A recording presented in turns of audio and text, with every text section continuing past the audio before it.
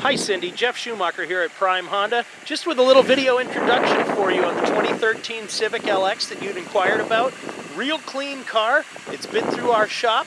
We've done a little bit of uh, brake maintenance on it, rebalanced and uh, aligned the tires. This has all of the uh, necessary fluids and filters changed and a brand new battery in it, Cindy. With just over 31,000 miles on it, this car is super clean inside and out. I think you're going to like it an awful lot. So you've got backup camera in this. You've got the AM FM CD obviously. Vehicle stability control. Very clean interior. Gorgeous car. No reason you shouldn't come in and drive it home today. Give me a call here at Prime Honda.